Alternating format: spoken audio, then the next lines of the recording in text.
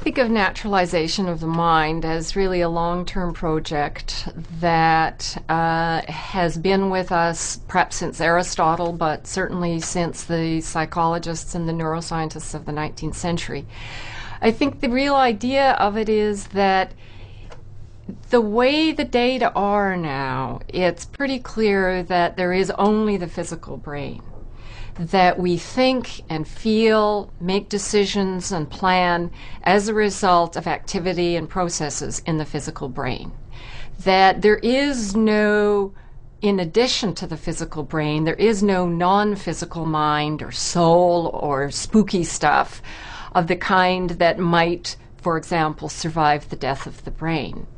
So when I think about naturalization of the mind, I think about trying to understand the nature of mental processes, mental diseases, and so forth in terms of brain function. My feeling is that because of the spectacular developments in neuroscience, especially over the last two or three decades, that in a certain way the time is ripe for philosophers and neuroscientists and psychologists to collaborate.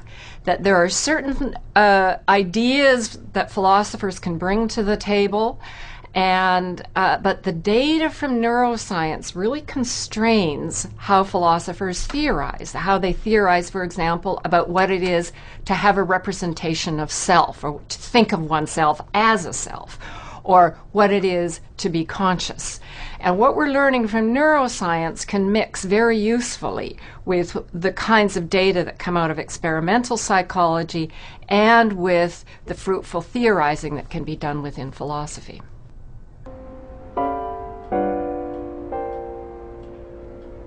It occurred to us that folk psychology might be misdirected in certain ways. What do I mean by that? Well, Think, for example, about folk physics. Folk physics is pretty much what Aristotle described. And an example would be for, that an object will move only if a force is continuously applied to that. Now, it turned out, of course, that with Newton we began to understand the laws of motion in a very different way. We also realized that an idea that had been important in folk physics, namely impetus, as the thing that keeps stuff moving, actually isn't a thing at all. That it played a role in Aristotle's folk physics, but in Newton's physics, it played no role at all. Our thought was suppose that folk psychology is a bit like that. Suppose it turns out that certain aspects of the story that we, this framework that we use for understanding, suppose it turns out that certain aspects of it need to be revised as psychology and neuroscience proceed. And I think that's been borne out. An aspect of folk psychology, I submit, is that memory is a kind of single unified phenomenon.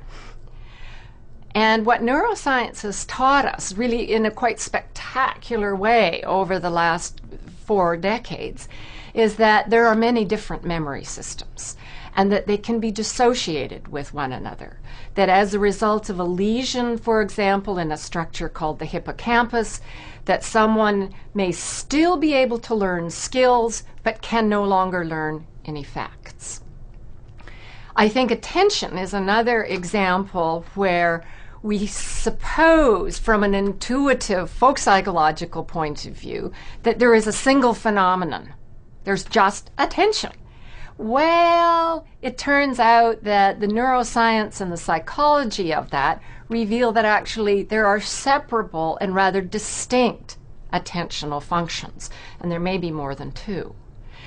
So, in general, these kinds of developments have motivated us to raise the possibility that some aspects, and perhaps even many aspects, of this very familiar, very intuitive way of understanding others and ourselves could turn out to be reconfigured and rethought. The question to raise then is whether there are some categories or concepts within our folk psychological framework that might turn out not just to be fragmented, but might actually turn out to have no application at all. How could you tell before the science is done that there could be none? there could be some. My own feeling is that it's likely that there are, and that the notion of the will is one such.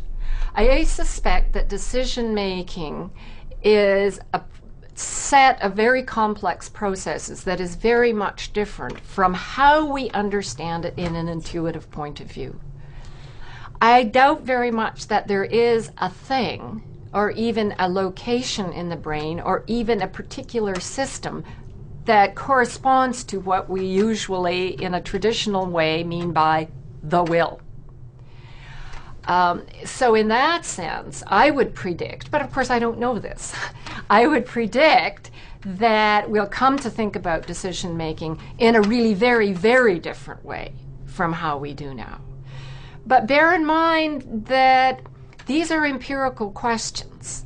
And the answer to the question, are there ways of thinking about ourselves that will have no purchase? In the way that impetus had no purchase in, in Newtonian physics?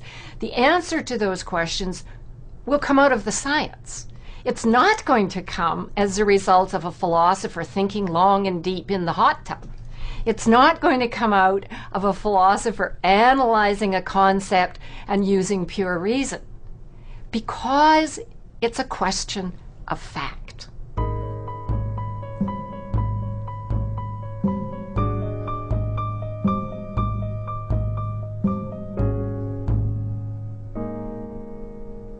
Folk psychology, as we know and use it and get on with it, is totally inadequate to explain the nature of sleep and dreaming. I mean, the amazing thing is, of course, that we spend roughly a third of our lives asleep.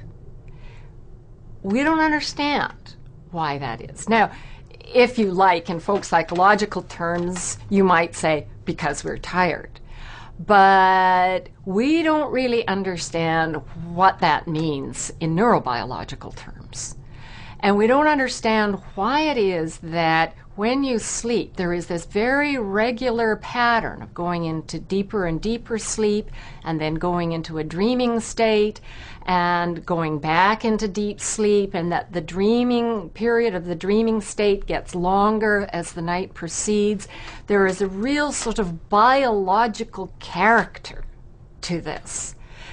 And folk psychology is really quite unequipped to address any aspect of that. Now, again, here Freud, I suppose, was was interesting because, like other people, he did try to explain the nature of dreaming. But it's an inadequate explanation. Uh, we don't, we think that there is something very deeply biological about dreaming because we see it in newborn infants, we see it in every mammal that's been studied, and we even see in the humble fruit fly these wonderful rhythmic alterations between being awake and being asleep. And even within the sleep period, there are differences between when the fruit fly is asleep and very quiet and when it's asleep and moving a little bit. So there's something very deeply biological about it. And I think we can access the explanation only via neurobiology. That analyzing concepts about dreaming, as for example a philosopher might recommend, is, at least in my opinion, not likely to be very useful. I think that some people are concerned about the possibility that as we reconceive the nature of mental phenomena in neurobiological terms, that something will be lost. Will we still, for example, really fall in love? Will we still uh, be able to discriminate uh, this Cabernet from that Cabernet? Um, and of course, the answer is yes. That a deeper scientific understanding of mental phenomena, that is, an understanding in terms of the neurobiology of those phenomena, doesn't make the phenomena go away. It just gives us a much deeper and richer way of understanding.